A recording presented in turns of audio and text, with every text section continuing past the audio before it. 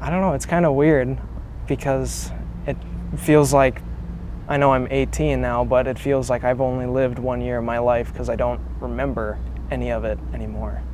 I don't remember a lot of my high school career and when it comes to school and everything and everything before high school is pretty much gone, wiped clean.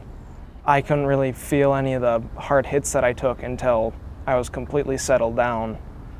And then, I mean, everything hit me and it was the headaches, nausea, and all the usual stuff that comes with head injuries and concussions.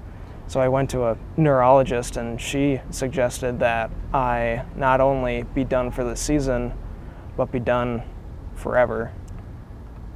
It felt like there was just emptiness because I wanted so much to be able to play my senior year with all my teammates because after a while they just become family because you're so used to seeing them all the time and then knowing that they get to go out there, but I can only sit and watch and I can't do anything to help. I mean, if just the risk of getting a concussion scares you away from sports, don't let it.